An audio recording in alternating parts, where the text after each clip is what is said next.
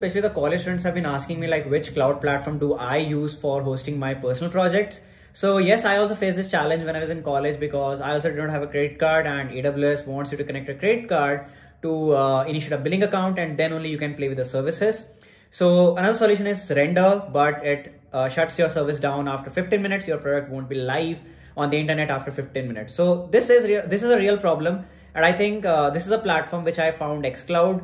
Uh, there you don't need a credit card as a student, you can just connect your UPI account and you will be uh, free to create instances, play with the databases or also leverage the DNS service.